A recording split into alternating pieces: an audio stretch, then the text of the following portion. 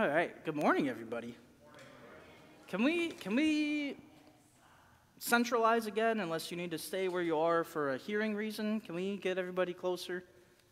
How many we got? Two, four, six, eight, 10, 12, 14, 16, 18, 20, 20, 22-ish. Boy, I don't know, guys. Thursday evening we had 20 people there, so you guys might want to step up your game on Sunday mornings. Otherwise, we might just switch.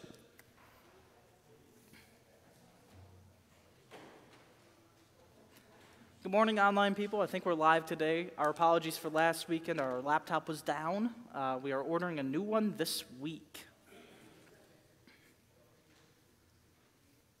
Alrighty. Cool. All right. So, everybody here knows me. I don't see any visitors. Good morning. My name is Uriah, in case you forgot. Uh, a couple announcements to start us off. Uh, coming up very quick is our ecumenical service, July 30th at Franklin Park at 10 a.m. Mark your calendars, 10 a.m., not 9, at Franklin Park. Bring your own lawn chair.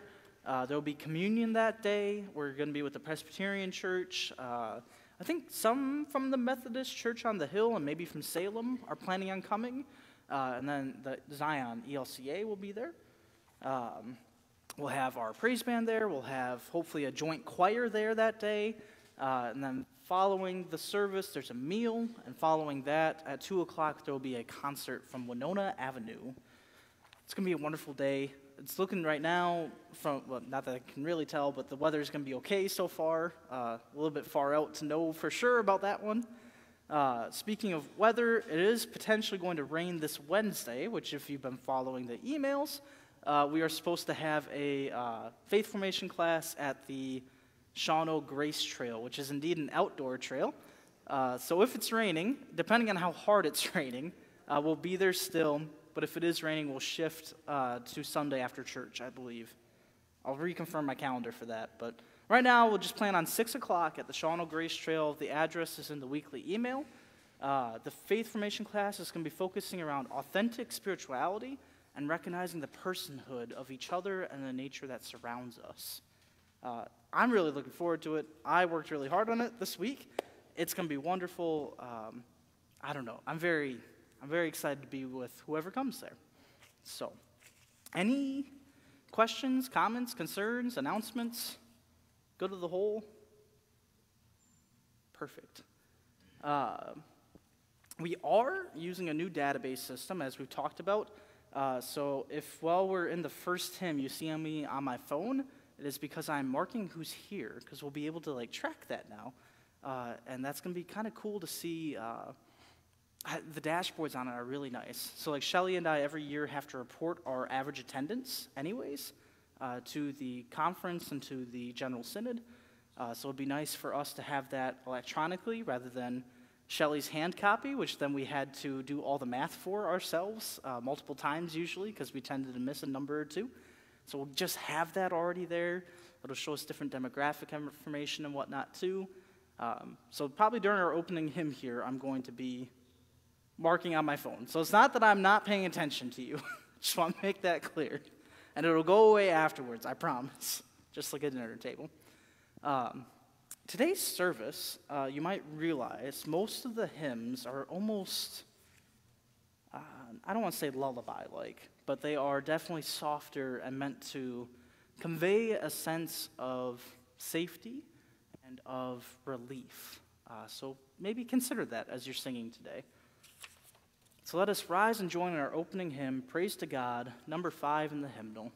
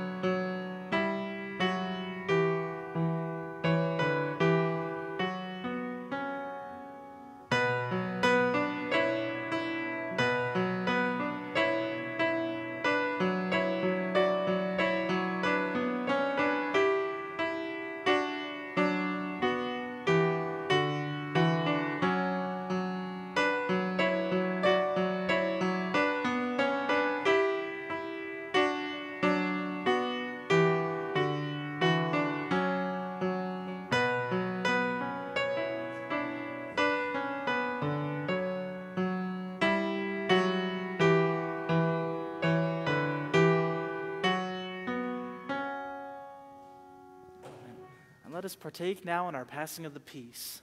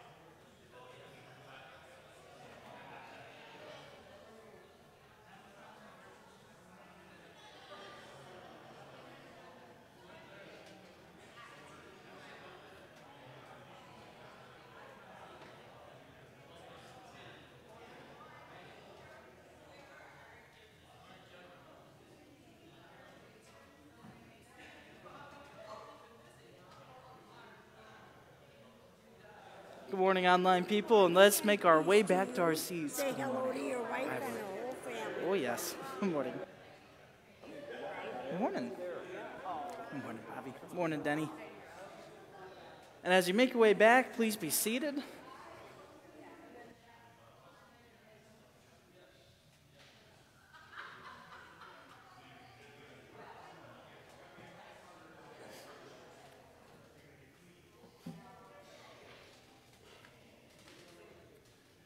Good morning to everyone.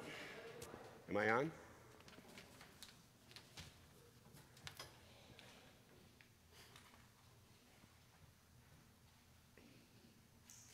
Please join me in the call to worship. O Spirit of the first song, the origins of a lullaby, we come here today with our burdens in tow. Would you grant us a comfort, O gentle Jesus? Our pain has no place to land no cradle for our sorrows to rock in. And say to us, Yes, let it out. I've got you now. There, there, dear child, there, there. There, there, to the rhythm of a heartbeat, like a grandmother consoling her kin. There, there. There, there, like the psalmist singing in satisfaction. It's all right now. We made it home. There, there. There, there, shouts the activist out in the street. That's enough now. Never again. There, there. For you are here, right here, ever with us, burden sharer, light maker, right here. And it is from this ancient,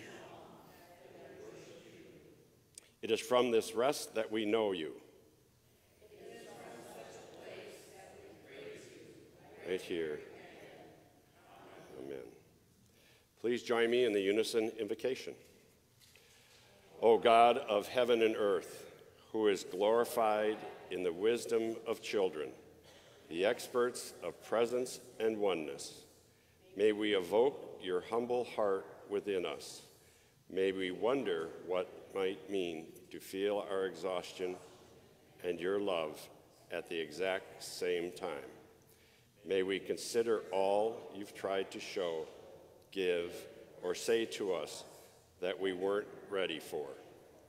Prepare our souls to yoke with yours, to share in the good news that revives every living thing. We ask this in your name and energy.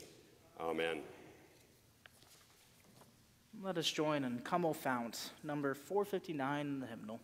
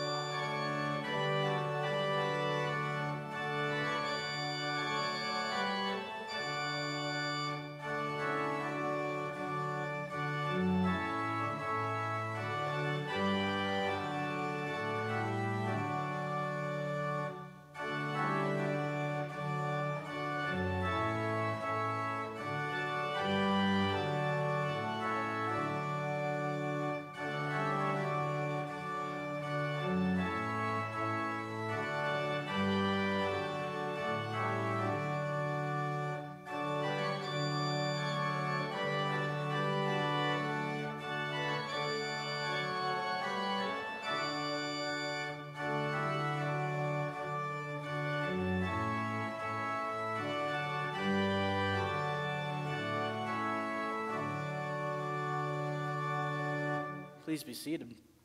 Last week we talked about a hymn that was from 1868. Any guesses on when the words for this hymn was originally written? Any guesses? 1758. So we're getting even older. Alrighty. Let us join in our unison prayer for transformation. Spirit of God, you are always among us, and yet at times we don't notice or get caught up in our judgments, not recognizing you in the stranger on the street or the stranger in me, who does not do the things I want, but rather the things I hate. Perhaps we thought our certainty would keep us safe, or ignorance would keep us pain free. But you show us the way of trust and awareness, what paves the path of peace. Forgive and help us, O God, by the power, grace, and connection. Amen. And please receive these words of grace. No matter the weight of our burdens or the age of our weariness, let us come before our rest giving God, rest for our shame and unbelief, rest for our bootstraps, egos, and false idols, rest to open us up to grace that says, I feel so much better since I laid my burdens down. Rest for the receptivity to our yes. Yes to forgiveness, yes to repair and yes to being fearfully and wonderfully made. Amen.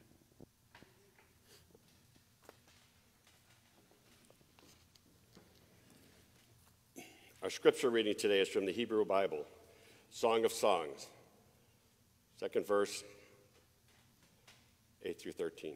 The voice of my beloved, look, he comes, leaping upon the mountains, bounding over the hills. My beloved is like a gazelle or a young stag. Look, there he stands behind our wall, gazing in at the windows, looking through the lattice. My beloved speaks and says to me, Arise, my love, my fair one, and come away.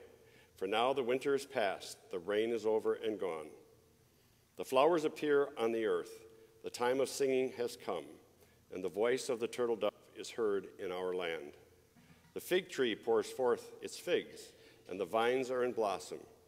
They give forth fragrance. Arise, my love, my fair one, and come away.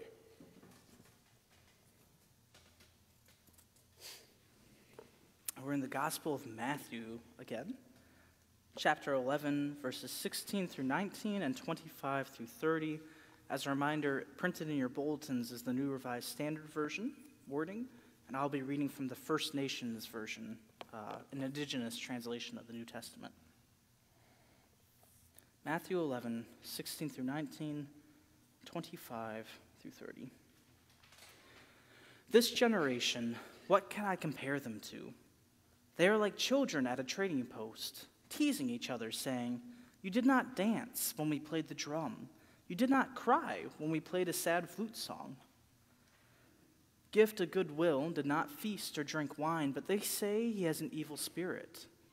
The true human being comes feasting and drinking, and they say he eats too much and is a drunk, a friend of tribal tax collectors and outcasts. But wisdom is like a mother who knows what her children are doing and can see right through them. And so Creator sets free, turned his eyes to the sky, and sent his voice to the Great Spirit. I honor you, O great Father, maker of earth and sky, he prayed. For you have hidden these things from the ones who are wise in their own eyes, but have shown them to the humble of heart. Yes, my Father, it has made your heart glad to see this day come. And then he turned to the ones who walked the road with him. My Father has put everything into my hands, he said with a solemn voice. Only the Father knows the Son, and only the Son knows the Father. No one can know the Father in his fullness unless the Son makes him known. Then he lifted his eyes up to the horizon, as if he were speaking to all the world. Come close to my side, you hearts are on the ground, you who are pushed down and worn out, and I will refresh you. Follow my teachings and learn from me, for I am gentle and humble of heart, and you will find rest from your troubled thoughts. Walk side by side with me, and I will share in your heavy load, and I will make it light. Here ends our gospel reading.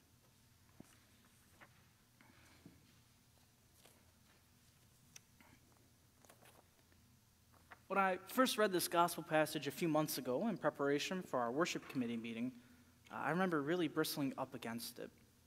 So at a first read of the New Revised Standard Version of the Bible, I didn't understand what Jesus was talking about when he was making the comparison of generations. I didn't understand the context he was speaking in, nor did I understand the message he calls us to at the end of the passage. Upon a much closer reading this week uh, and some more research, I found it to be an extremely relevant passage for our modern times, and one with a message I think many of us can benefit from. So, first, for some context of where we are in the narrative.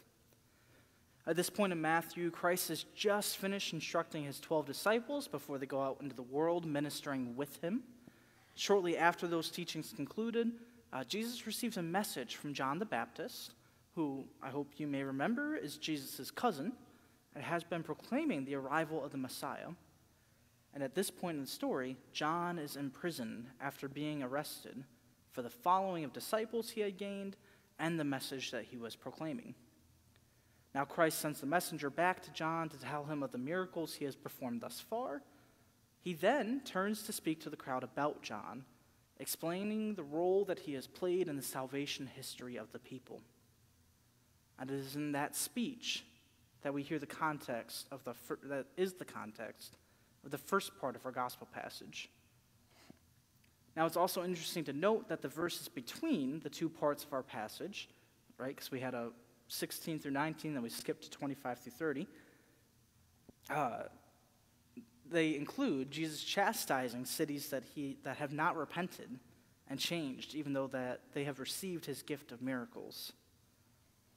Now, this may give, give us some context clues to the discussion on generations in a little bit. The last bit of context I would like to highlight is one that a commentary shared with me this week. Chapter 11 of Matthew begins what many scholars would classify as the third section of the gospel, which highlights a growing division in Christ's ministry between those who would follow and change their ways and those who would not. And this section is bookended with two scenes that are questioning Jesus' identity. The first being the messenger that John sent to ask him if he was the one to come. And the second is later in chapter 16, when Christ asks the disciples who people say the Son of Man is. It's the division part of this context that is very important when we consider the words surrounding the generational comparison today. Because Christ is comparing the generations of his time with people who are not acting in right relationship, and they're acting in confusing ways. When someone plays a song, right? If they are, whether that's Vicky up on the organ for us, somebody at Thursdays in the Park at Franklin, somebody at the neighborhood, somebody else playing music around us, it is considered rude to just ignore it, right?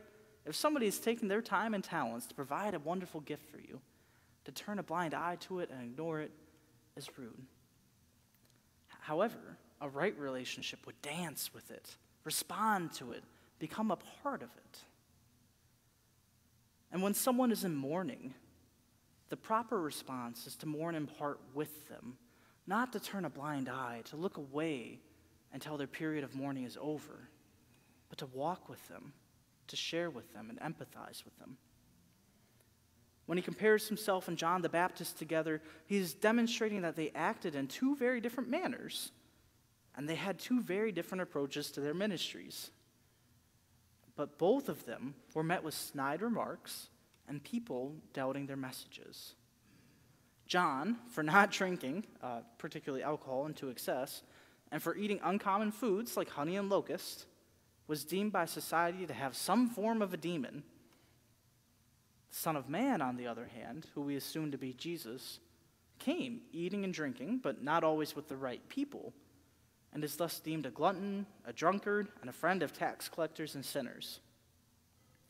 The thing is, both Jesus and John were working to rebuild right community in a time when people were isolated from one another.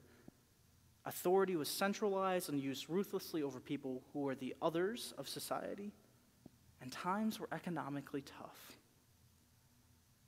For delivering the message that there is a better way to live in the here and now, John would eventually be beheaded and Jesus crucified on the cross. To what shall I compare this generation?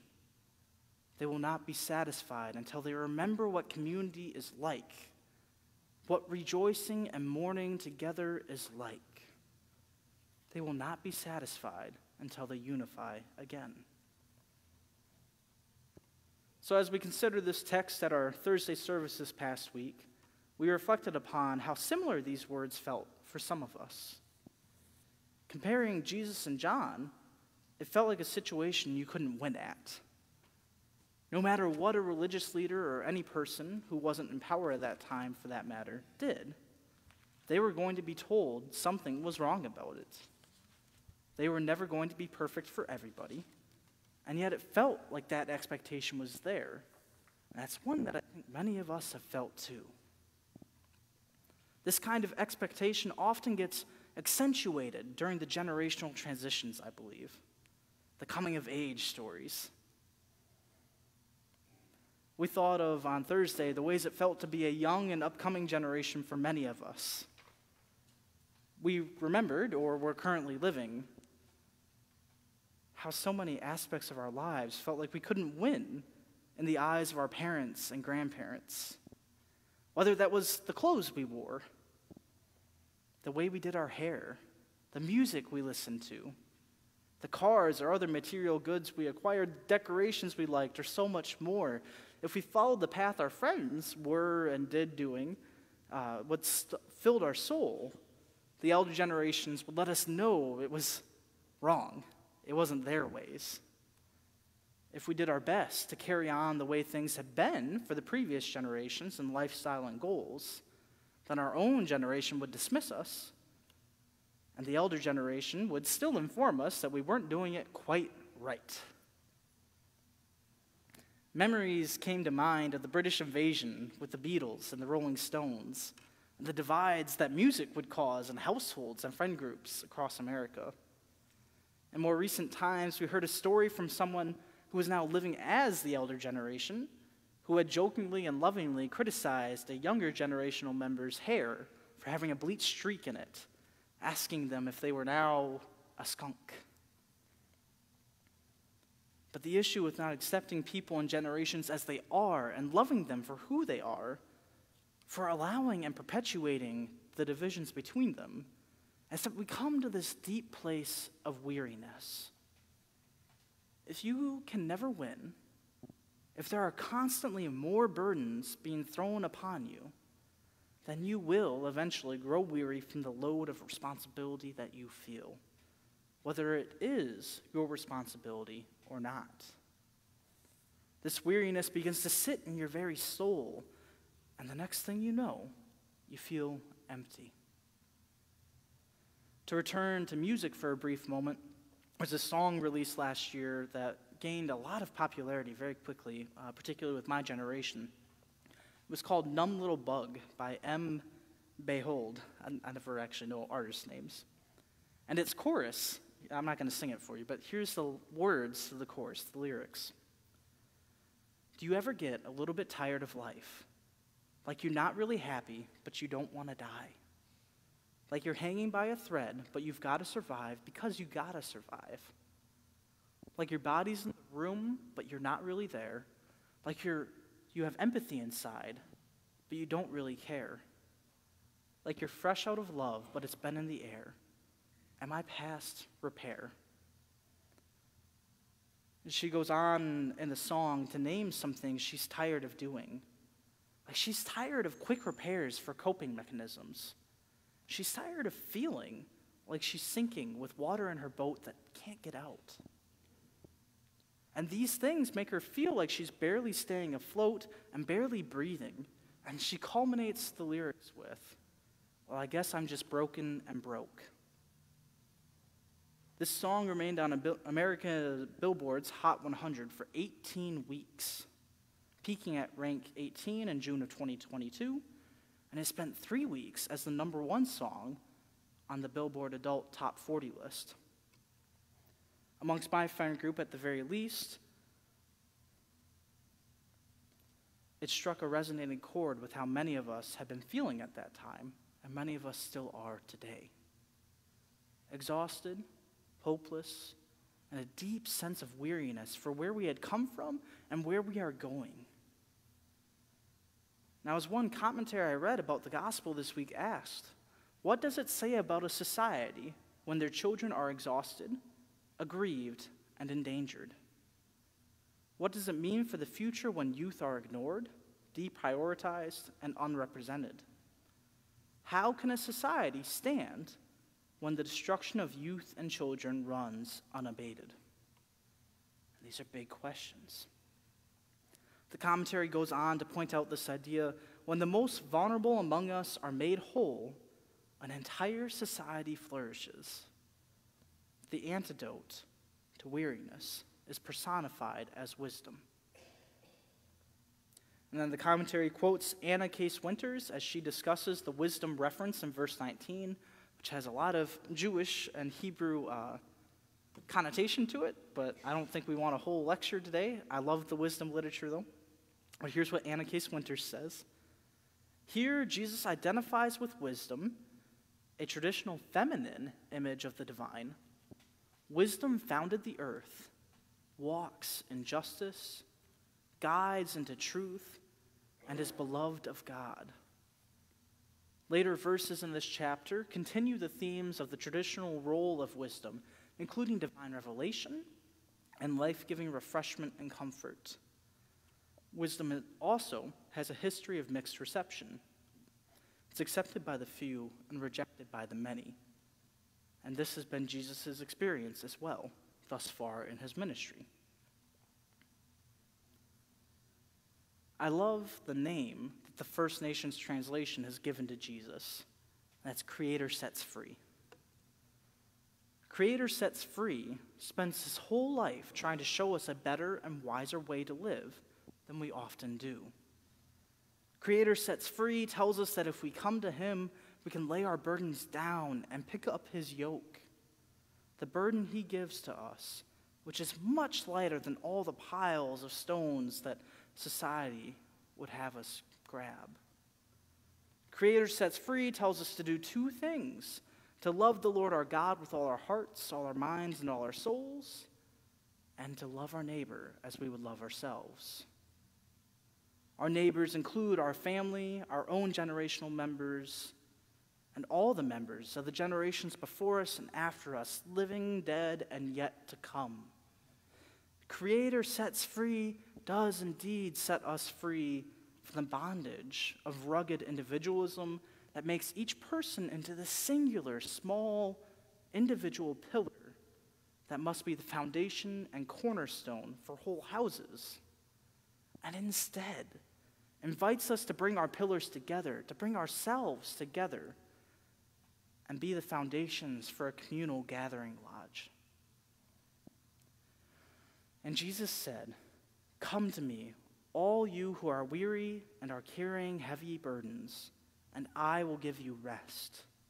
Take my yoke upon you and learn from me, for I am gentle and humble in heart, and you will find rest for your souls.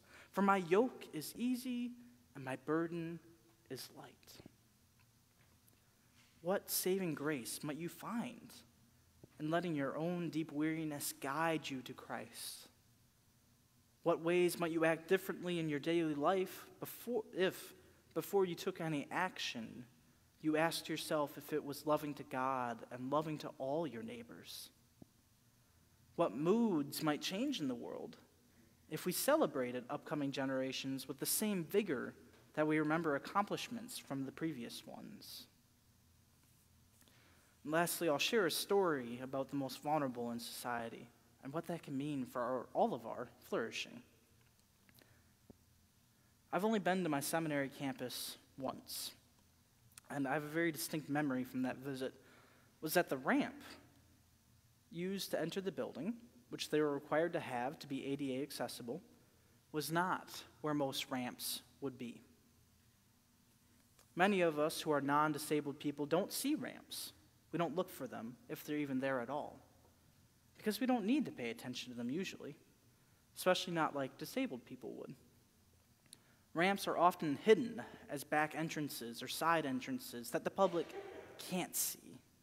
Stairs, grand staircases, we cling to that idea.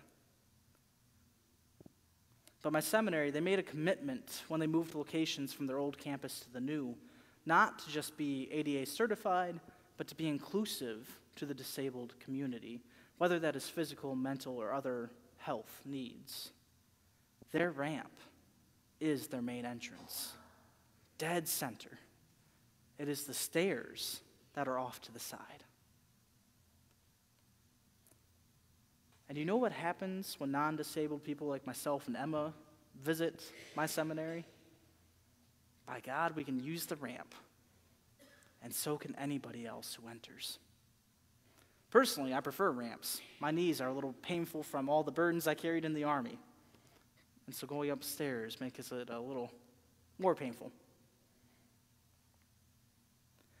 Quoting the commentary again when the most vulnerable among us are made whole, an entire society flourishes. When we put those who have the most need first, we all benefit. Sometimes the best cure for weariness is to reach out and love those around you without any expectations of anything in return. And that is the burden that Christ is calling us to. May we bear that yoke with pride and honor. May it be so, and amen.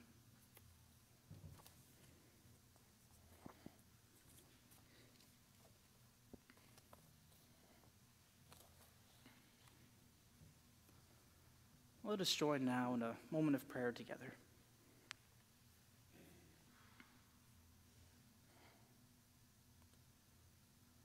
Burden taking God, we come before you with heavy loads today. knowing that there is family trauma in our buckets, tasks that we didn't finish at work that seem to just pile and pile up, doubts of our own availability to parent, doubts of how well we've done as children. We come before you still hopeful that we can make a better world together. and we come before you asking for some reprieve. We come trusting that we can lay our burdens before you as your Son called us to. And we can still receive a burden again, but one that is far lighter and more fulfilling. We ask that you walk with us that we can continue to learn from your Son who lived so long ago. That as the body of Christ still on this earth, we take burdens from people and do not put them upon them. And we know we can pray all this through your Son, who taught us this prayer, saying, Our Father, who art in heaven, hallowed be thy name. Thy kingdom come Thy will be done, on earth as it is in heaven. Give us this day our daily bread, and forgive us our debts, as we forgive our debtors. And lead us not into temptation, but deliver us from evil. For thine is kingdom, and the power, and the glory forever and ever. Amen. Amen. Let us rise and join and be not dismayed. Number 460 in the hymnal.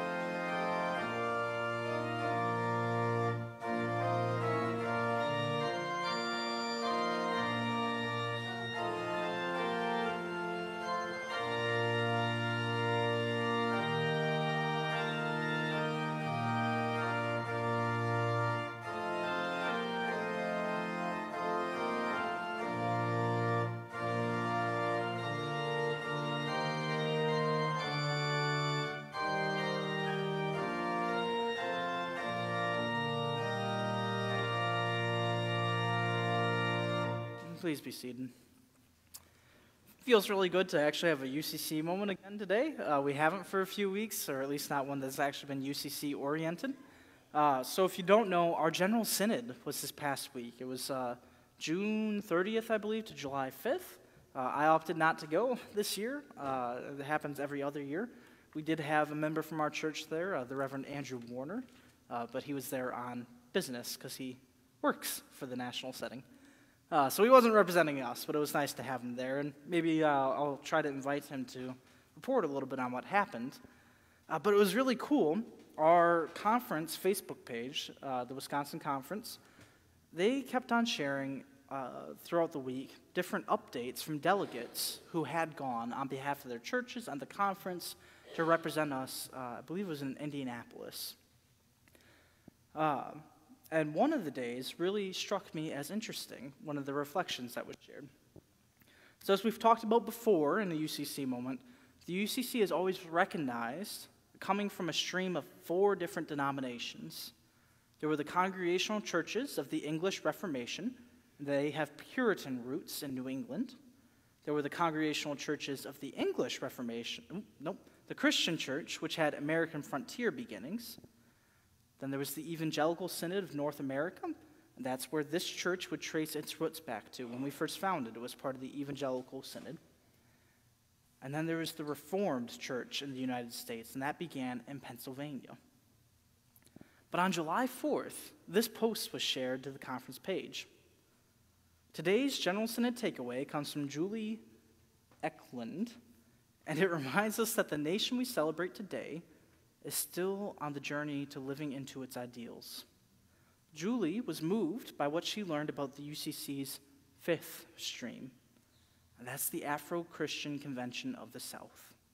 They would eventually go on to become the AMA, and I forget what that stands for. But it's an often overlooked when the denomination call, recalls its roots.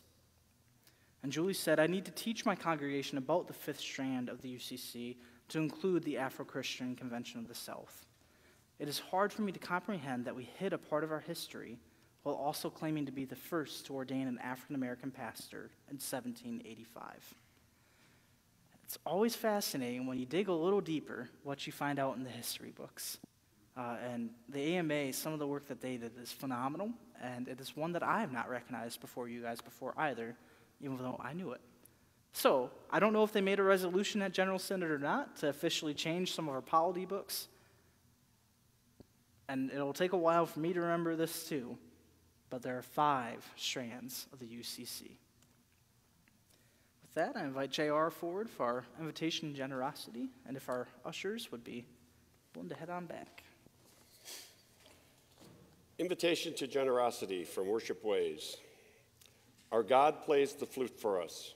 Do we not hear it? Shall we not respond with a dance? Shall we not come to each other with thanksgiving and in turn share the gifts that we have? How might we be abundant? And in what ways are we still in need? Let us bring it all as an offering through our faith and humanity. Amen.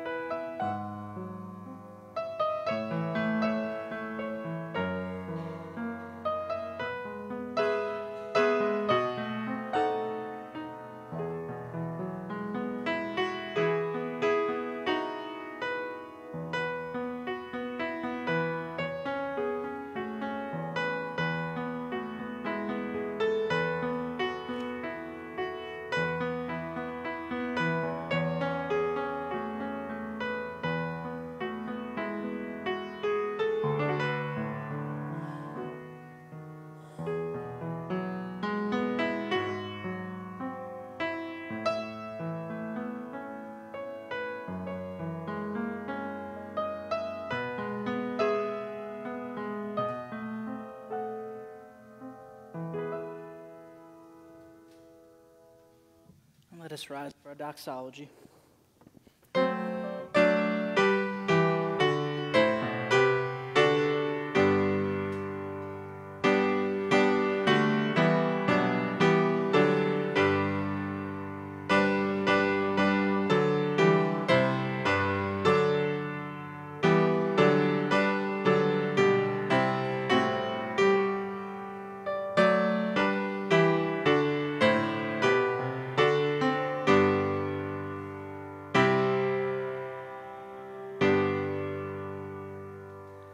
Us join our unison prayer dedication.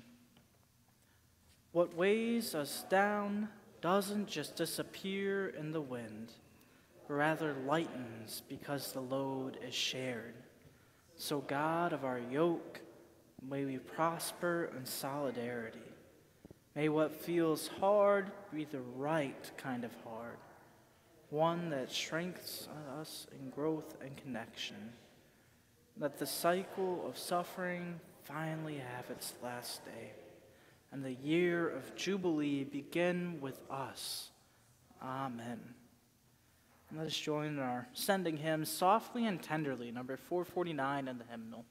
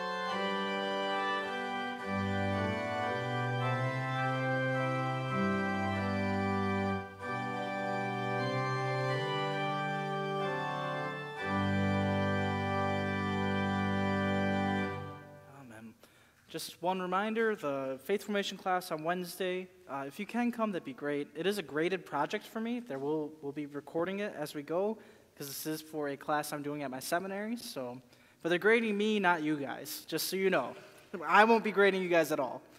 Uh, it's more of a community learning event. But please receive this benediction.